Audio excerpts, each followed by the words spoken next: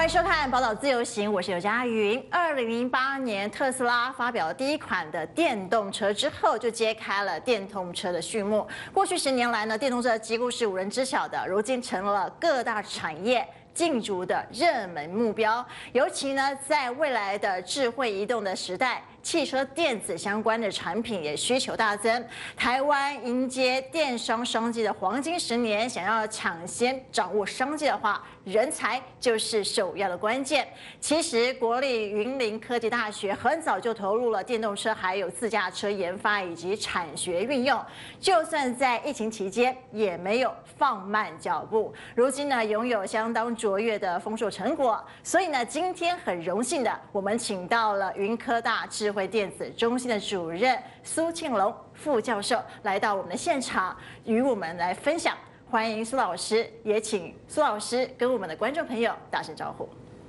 主播、观众，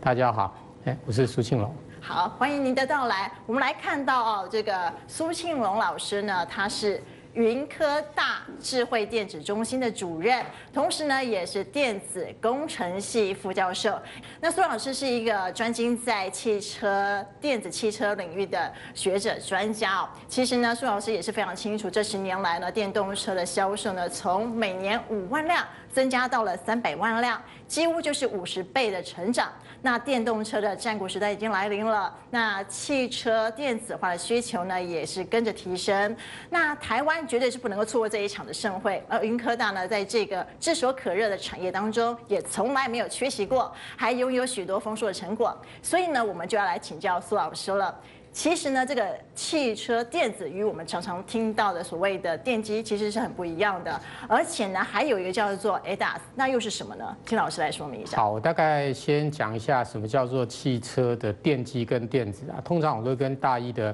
学生讲，你不知道电机跟电子的区分的话，很简单，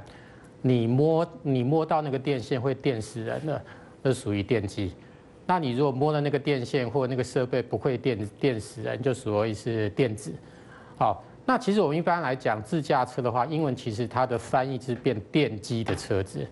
那我们微电的话，电子的话通常是微电，就是说，像我举个例子，比如是像这个自驾车的这个呃 Tesla 这个自驾车的系统，它的后面的大脑是一个。主机板，所以那个基本上你摸是不会电死人的。好，那个大概就是汽车电子里面最难的部分。那如果大家有开过油电车，它那个油电车里面它有非常粗那个那个橘色的线的话，那个你摸是会电死人，那个在四百伏特到八百伏特，其实那个是属于电机的部分。那我想我们台湾其实目前我们这边研究比较多还是在电子的部分哈。那就像我们可以看到这个画面哈，你可以看到这个车车辆在驾驶，你看它的这个方向盘中间的仪表板是有有车子在中间跑的哈。那嗯，它会显示到你前面的路线，还有你前现在前面有一台车子，那等一下旁边我会旁边有车子，那你看这个特写镜呢，看到你前面有两台车，所以这代表说你车子在。驾驶的时候，车子是知道你前后左右车子的位置，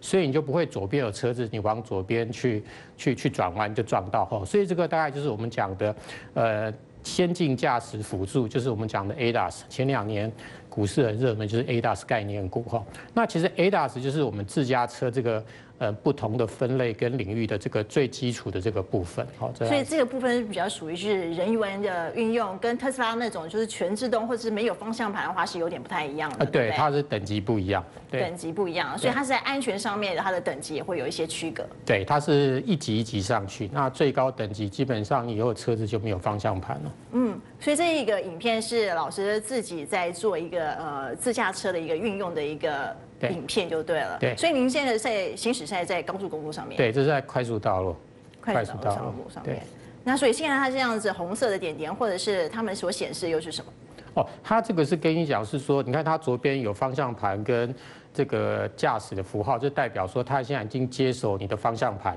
也接手你的油门跟刹车。好，那右边那个中间这一块，你看旁边有左边有台车过去，就它知道左边有车子，那你就不要撞到它。那左下方有一个时速一百，那个代表说我已经侦测到你的这个外面的时速牌是一百，所以车子也知道你这条路的速线是怎么样。其实汽车它的自驾车系统就像我们人一样，它有眼睛，然后有耳朵可以感应到周周围的这个。呃环境状态，然后它在接手你的方向盘、油门跟刹车，大概就是这样子。好，那接下来我们下一段呢将会分享就是呢全球电动车的浪潮席卷了之后，台湾迎战的布局契机还有挑战。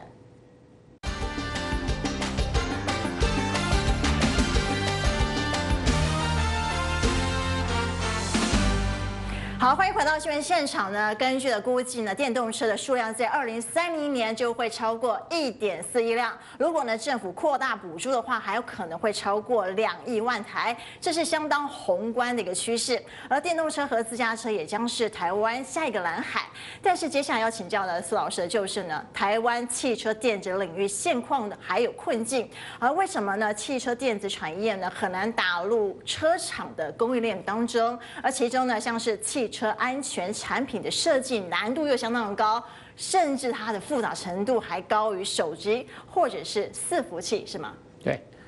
呃，我想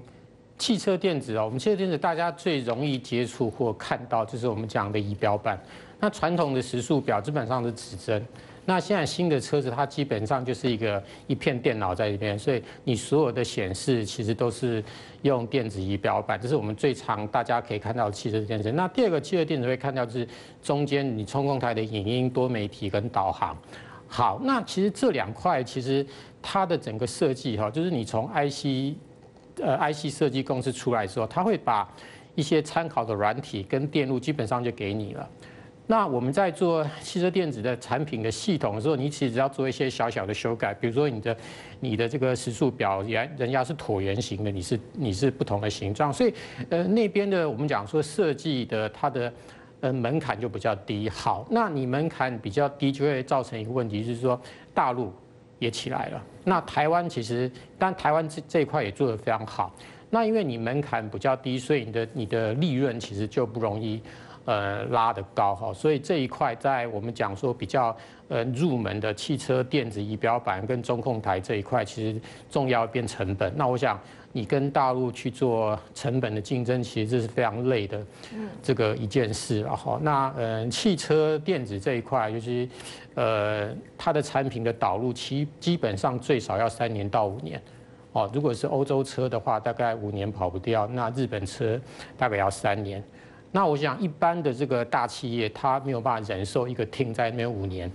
是不能赚钱的。好，那但学校不一样，校长会允许你哈五年不赚钱，反正你就把你的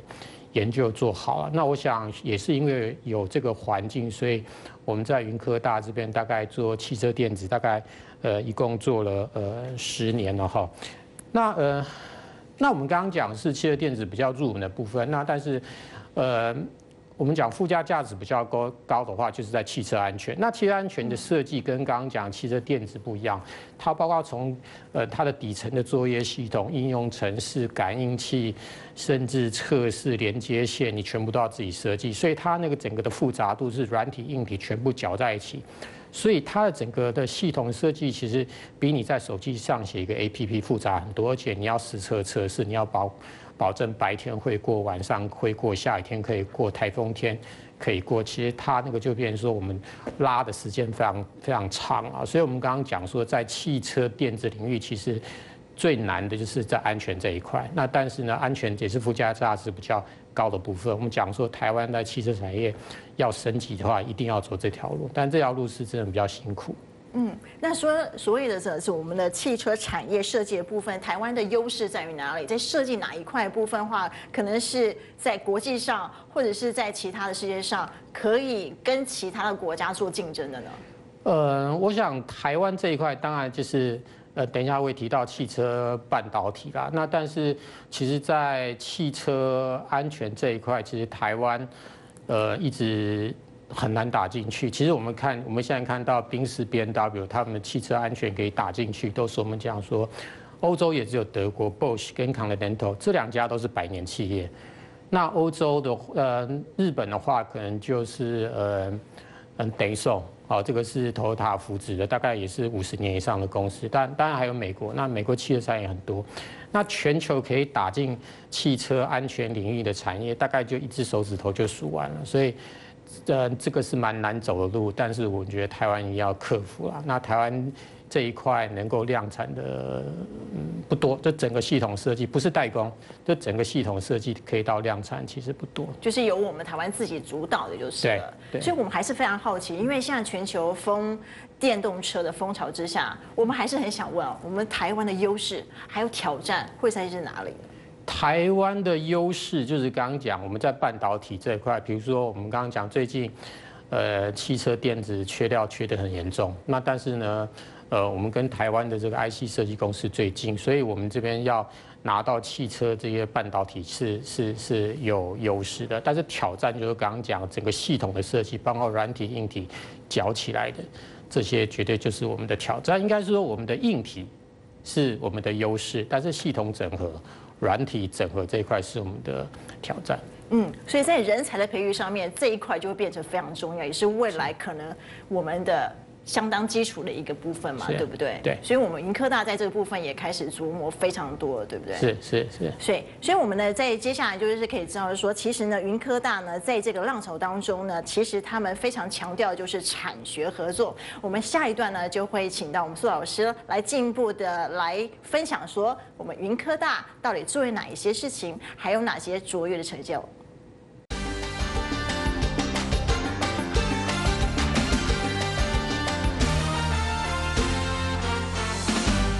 好，欢迎回来。我们知道呢，在电动车时代之下呢，抢占先机，人才就是最重要的资产。而云科大呢，是国内少数深入投入汽车领域的大学。而现在呢，就要请我们的苏老师来谈谈云科大在这一方面的研究资源有哪些呢？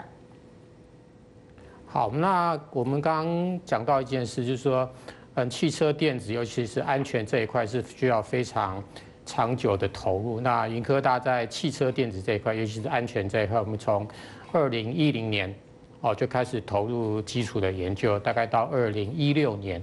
我们就跟产业密切的接触，包括大陆很多车厂、台湾很很多车厂、东亚车厂，我们都跑过了。后来发觉。呃，学术研究跟做汽车产品的这个是非常不同的。那后来我们就继续努力，大概在一八年的时候，我们就呃协助我们授权我们的合作公司就呃设计一个盲区侦测系统，就是我们刚开车左右这个看不到的地方，我们通常一左转一右转就撞到后面，然后就是我们讲就挤到挤压到后面。那我们在一八年，好，我们一八年我们就协助厂商完成第一个。产品，那我们也看到了在汽车电子安全这一块的嗯机会。我们大概在一七年，我们就在学校成立我们讲说汽车云科大的智慧电子中心。那这个智慧电子中心，它跟一般的研究中心不一样，它最主要是对标在呃汽车产品的这个开发。那所以我们在呃，我们在在我们的中心哈，其实我们有三个很重要的一个大的领域的设备。第一个，我们有所谓的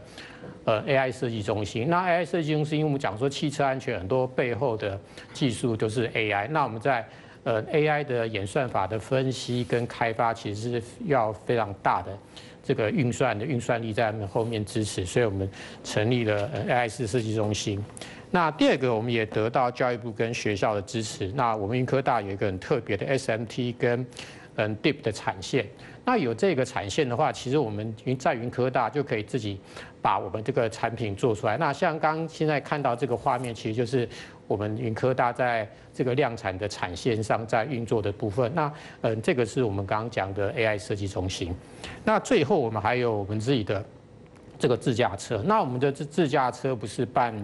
这个半加加九其实是真正就是开到路上可以执行道路测试啦，所以说我们云科大在汽车电子这一块，其实可以完成从设计到量产到测试这种一条龙的这种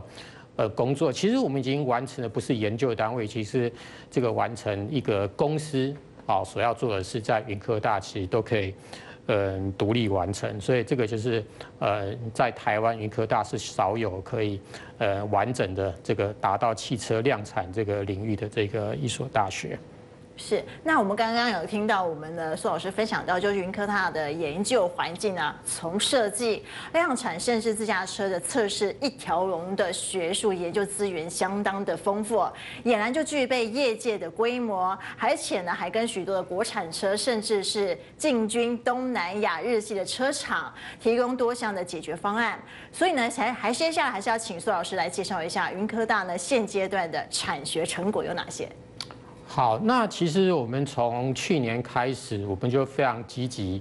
把我们的云科大的这个产学这些能量和跟台湾的业界合作，所以我们大概从今年，大概今年年底，我们就开始做了很多在台湾的这个呃台湾的乘用车的嗯产品的上市的准备跟测试，包括我们讲是说明年二零二零呃二二零二二。有一个三百六十度环境的这个影像的系统，我们要准备上市。那第二个就是刚刚讲盲区侦测系统，这是我们做了很多年的这个产品，非常成熟的这个产品哈，这是第二第二个产品。那呃第三是有一个叫做呃全方位的数位录影的一个一个盒子。那我们一般来讲，我们的只是录我们前后的影像。那其实你在发生车祸的时候，你有没有超速？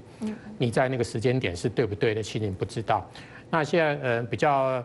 呃比较呃高级的车子，它其实是把所有的资料都录起来，我们叫做数位的录影的这个呃盒子哈。所以这个在明年我们大概就有蛮多的这个厂商跟我们合作的产品在这个上面走。那另外就是呃明年也会有我们讲的大客车哈，大大客车的三百六十度的环境。跟视野辅助的系统，那这个呃，我们的认证也认证完了，整个测试也测试完了，应该是明年第一 Q 就会开始在台湾有产品这个上市。那当然，我们大概在二零二三年，就是后年，大概也会有一个日系日系车在东亚上市的车种也会用我们的技术。那我们说是讲到二零二三年刚。前面讲，像我们跟厂商的这些开发，其实我们二零二三年的厂商的开发，大概是二零二零年就要开始签约，要开始走了。所以，我们大概觉得，哎，这边这个机会也也是应该是蛮有机会的。那好，那再来就是刚刚讲，其实在这个所有我们电子产业的最上游都是 IC。对。那我们跟羚羊台湾羚羊科技也合作了非常久。那羚羊在去年开始投入一颗非常重要的 IC，是台湾很重要的车用电子的 IC。那呃，云科大在呃他们在开始投入设计时候，我们就跟他做很这个深度的这个合作哈。所以呃，我们大概在今年的十二月二十九号，羚羊会一个 IC 的正式的发布的会议。那在这个发布会议上，其实我们也会到场，就是他们呃。软体的解决方案就是用云科大合作的这个厂商，所以，呃，云科大从最上游的 IC 设计、制造哈，甚至规格定定哈，I/O 规定，呃，规范，其实我们就已经参与了。其实，呃，这颗 IC，这颗羚羊的 IC 是国内，呃，最近一年来一个很重要的车用 IC。这个 IC，羚羊光整个投入的成本就达三亿台币，所以是蛮蛮蛮大的这个。投入这样好，那刚刚我们的苏老师已经自己点到了，这三亿元就是羚羊科技投入和学校策略合作。那我们就来听一段来自羚羊科技总经理的访问。主要是我们在 IC 跟演算法上面有一个配合，那因为这个配合我们默契觉得不错，然后那个成果也不错，所以后续呢，我们在新的呃 ADAS IC 的开发上面，就从前期的架构设计。然后跟演算法的这个配合上面，我们也做了更深入的一个合作。那像最近我们，呃，即将要回厂的一个新的 ADAS 芯片，那也是跟苏老师这样子搭配。它是呃具备比较强的这个呃 CPU 的运算能力，然后搭配很强的一个 3D 的 GPU，然后再搭配苏教授这边的演算法，其实它可以提供到呃我们认为到 Level。Two 的这个自动驾驶的这些功能，它都可以呃去符合客户的需求。那这个计划其实呃，羚羊科技在这边投入了蛮大的这个资金成本啊，大概将近三亿台币的整个开发费用。呃，云科大这边它整个呃这个体系的环境，可以提供很多那个优秀的人才，特别是在汽车电子、汽车产业这个部分，所以我们觉得这个是很好的一个合作的机会。好，现在大家都知道电动车是未来各大产业争相插旗的热门项目，而云科大呢，在这一方面的人才培育也是相当积极，更强调就是与产业无缝接轨，是培育专业人才的摇篮。接下来还是要请问苏老师，就是呢，云科大训练出来的学生们，他们的竞争力有哪些？而就业优势又是什么？好，我想云科大因为是科技大学，所以。呃，校长特别重视学生的这个呃在产业对接的能力哈，所以云科大呃的训练包括理论到工程到实务，其实我们呃这这这这三个部分我们都是非常强调呃非常强调的哈。那我们现在看到一个理论的东西，它可能是一个数学式子。那但是一个数学式子，你要把要把它写成程式的时候，你不是照着那个数学写的，那它会有有一些你要理解要应用的部分。那我想这一个就是我们讲说工程能力的培养。那你会理论，并不代表你会工程；那你会工程，并不代表会实物。那实物什么是什么意思？就是你写完了东西之后，你到车子上不同的天候、不同的挑战。是不是都能正常运作？好，所以这我们讲说第三个阶段是实物了哈。那呃，云科大在嗯这一块啊，其实跟一般大学不一样，我们非常强调工程跟实物能力的应用。那像我们自己中心的这个学生哈，有一个嗯特点，比如说我们呃做研究做的特别好的学生，他其实我们在硕士考试之前，我们会安排考试委员直接上我们的车子去跑一段看看。那跑一段，如果能够过关，就代表你等一下报告的东西是真的，不是骗人的。那你如果等一下讲的很好，结果你实实际上路跑是跑不过关的话，那代表你一定出了什么问题。所以我想，在这种特别的这种，但这是那种非常厉害的学生啊，非常厉害的学，他基本上我们就要求他在口试之前，呃，测试要过关。但那个其实是非常刺激的，因为你不晓得明天口试的时候是不是下雨天。是不是这个对各种状况？所以学生他在口试之前要各种状况，他都要准备好，然后所以他就会战战兢兢，所以就代表说他整个从理论到我们刚刚讲的实物，其实都可以做得这个不错了。那我想在呃这种非常强调实物的训练之下，其实云科大学生，嗯，像我们中心、我们实验室出去的学生，基本上就是还没有出去，大概都被分光了。对，因为呃，很多产业都争相要啊，对对对对对对，而且像我们的合作企业，像羚羊，像我们合作最 close 企业，呃，可能他们都自己不一定要得到人，嗯，因为呃，在你如果是从一零四这种网站去捞的话，其实捞不太到汽车安全的实务的这个人才，那大部分的薪水大概 OK 啊，大概毕业。第二年应该就可以破破百万了，但好令人羡慕。对，但没有办法像一线的 IC 设计公司，那但是我觉得应该是比系统厂还有比这个二线的 IC 设计公司的薪水应该是不差了。对，是。那我们就来听听学生们对于自己这种教学方式有什么看法。那在这个计划里面，我觉得我我获得最大的收获是产业跟学术之间的连接，还有理论跟实物的并用。因为在不同的学术机构来说，他们大部分都会是采用，都是会以模拟的方式来去实现他们的结果。那我们这边这个计划不一样的地方是，我们会真的去。去路上，去路上实做我们的结果。他在户外做完这些整体的测试流程之后，我们再带回来去进行进去进行分析，然后再去再去进行各种的比对。那这套流程会更符会更符合实际上产业会运用到的整个整个流程。呃，本次的计划中，老师经常会跟合作的企业的合作企业的公司主管开会，那他会把他们开会的经验分享给我们，然后让我们去。提升跟业界的资讯衔接，然后在设备的部分，它会提供车子跟板子，让我们去做实做部分。我们知道一有新的想法，就可以立刻去付诸实现，然后并且到道路上去测试，然后来验证自己的想法是不是好的。然后非常感谢老师及学校为我们提供那么好的环境去学习。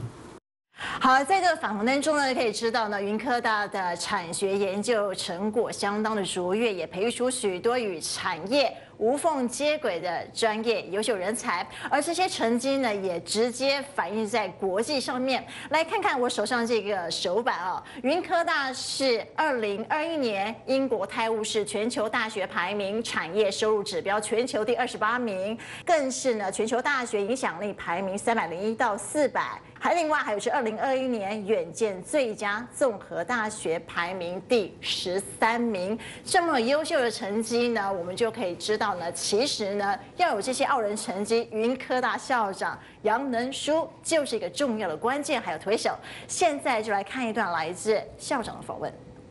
那云科大是一所科技大学哈，那我们很注重的就是叫做，哦，跟产业对接。那我们学校的这个口号就是说，教学创新跟产业对接的一所哦知名的呃国际呃科技大学。那在这样的一个一个目标哦为前提之下，其实在过去学校就在第一个哈，我们在产学合作的一个成绩就相当的不错。那大概是我们在云林县哈就比较。这个这个不受这个大家的这个关注。其实云科大的这个产学合作哈，我们在一百零七年的时候，就是说如果从哦全国大专院校来看的话，师均值我们是全国第一的。那第二名我记得是那个时候是成大哦。那当这个隔年就变成是交大是第一名，那我们学校要掉下去。所以说这个台湾产学合作的这个这个优秀的这个这个这个学校。哦，大概有一些哈，我们大家就会轮流来抢这个这个第一名。那云科大它呃也是借由所谓的这个产学合作，我们的就是产生一个学校跟业界的一个 bridge。那老师不但说做产学合作案哦，那学生也会陪伴的这个哦老师，那么来透过这样的老师搭着一个桥到业界哦，那。因为科技大学它如果跟业界是脱节的，那那是不成立的。所以云科大一直在紧盯着哈哦全世界这个每一项科技的这个发展。比如说在 AI，我们学校是一个很广泛的哦，从大学部我们的学生都大概都要去学习这个资料的一个处理，以及 AI 的一个课程，以及它在每一个专业上面的这个这个应用。因为我是觉得将来 AI 的这种套件。它的使用很可能就是跟你现在使用 Word、使用 Excel 是一模一样的一个一个事情哦。那每一个系、每一个院，我们都希望它有一个特色，就像说汽车哦，这个是我们大概工学院的一个一个很重要的一个特色。AI 是我们学校一个很重要的一个特色。当这个这个每其他的这个院也会系哈，也都会有他自己的一个一个特色。有他自己跟产业的一个对接，那我们希望来这边念的这个同学哈，都要能够学习哈一些理论跟实务，他会思考、会设计、会制作，他完全了解说当今市场上竞争的这个哦优劣，然后他也知道这个整个一个科技发展的这个趋势。我在想说，这样才能够称为是一所科技大学。好，听完校长谈完之后呢，观众朋友可以知道呢，这个云科大呢拥有完整的汽车相关系所，是一所重视永续发展的大学，也展现出了举足轻重的全球影响力。而接下来要请教的苏老师，未来在云科大在汽车产业的布局还有突破是什么？好像我们要推出自己的概念车吗？是的，我想刚刚嗯在影片当中受访的两位学生。他他们从从他们例子来讲，他们两位学生，他从硕士班就已经被人家定下来了。就是他们硕士班，比如说一个月就给他两万或给他四万，那他就要跟这个签约的公司说：“哎，我给你了两年，那你就要 promise 我，呃，毕业之后来对服服务两年啊。”所以，呃，我想在汽车也是系统设计这一块，其实人才的竞争其实永远是关键了哈。那刚刚在延续呃我们杨校长的想法，就是说，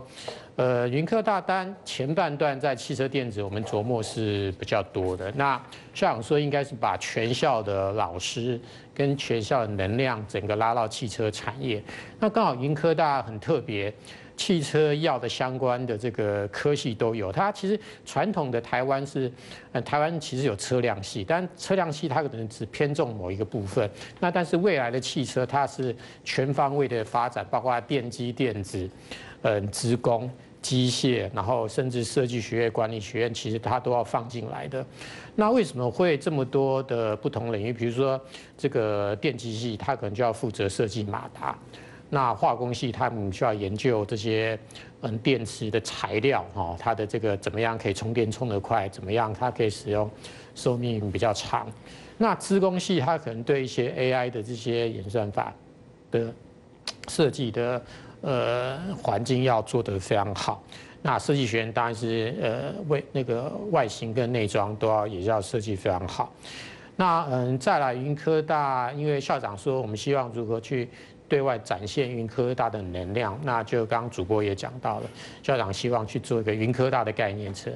那这个云科大的概念车就是让。人家来云科大来参观，对云科大会留下一个印象，因为人家来参观你一个 PPT，人家是不会有印象，但是你一个很实体的出来，对，有车子出来，那车子是不一样，非常有前瞻性的话，那人家才会留下印象。所以，呃，大概从二零二年、二零二三年，云科大会投入超过一千五百万，大概我们会做两台，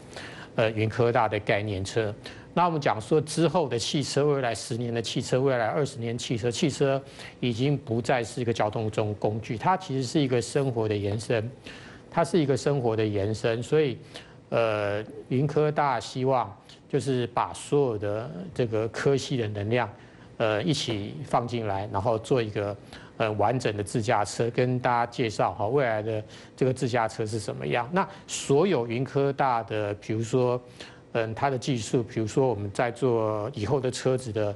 这个，我们现在的车子的顶都是钣金，那以后的车子的这个车顶可能是玻璃，那这个玻璃可能会随着不同的阳光，它会自动调整它的照射。那嗯，以后的汽车你可能，比如说你在防疫期间，我就是居家办公，那居家办公你在家呃待久了，哦，会觉得。很郁闷啊，所以你可以开着车子到日月潭旁边，一边赏日月潭的景，一边去跟公司开会，然后嗯做你的工作。所以未来的汽车的这个概念已经不是交通工具，所以云科大想借由这种云科这个云 Tech One 的概念车，介绍未来的汽车怎么样，然后也展现云科大整个汽车的研发的能量。那您刚才说那个云 Tech One 的这个概念车，其实是有两个，对不对？一个是否后疫情时代的，对，而另外也是个居家办公，这部分可以多透露一些些吗？哦，好，那我们刚刚讲，我们现在很是很麻烦，就是呃，这个这个我们讲说居家检疫，居家检疫要一个特别的房间，要一个什么设备不人家共用什么样，所以网络很重要。对，那所以我们就是想说把一台车造完，然后这个那个车子稍微大一点，可能比休息车还大一点，那我们就把需要居家检疫的人就关到那台车子里面。关在里面，对，他那个人在里面可以吃、可以喝、可以休息、可以互动。那因为它是封闭的，所以它它的这些病毒细菌也也也不会出来。那因为它是封闭的，它是自驾，就是跟你讲说你在家闷闷久了、关久了，那你就可以跑到这个日月潭旁边。嗯，哦，这是属于居家办公的。那那个后疫情的那个部分呢？嗯，这个是这个是刚刚讲，就是刚刚讲是居家检疫。对，居家检疫。对，那办公是另外一个。办公就是说，我们现在在在在家里，我们要在跟这个公司要开会很麻烦，又要有什么呃 Line，又要有会议的系统，然后有网络，要这些东西，你要很多的工具。那我们另外另外一台车，就是希望这台车是把你的居家。跟你的办公融合在一起，就是让你觉得你在疫情的时候，你的居家办公觉得不是这么无聊。好，谢谢苏老师精彩的分享啊！就像老师说的，未来汽车不再只是一个交通工具，而是一个生活空间的延伸。而且呢，相信未来在电动车的黄金十年，尤其在产学合作领域，可以预见就是云科大将是一个不可或缺的重要角色。也再一次谢谢苏老师来到我们的现场与我们分享，也谢谢您的收看，我是尤佳云，我们再会了。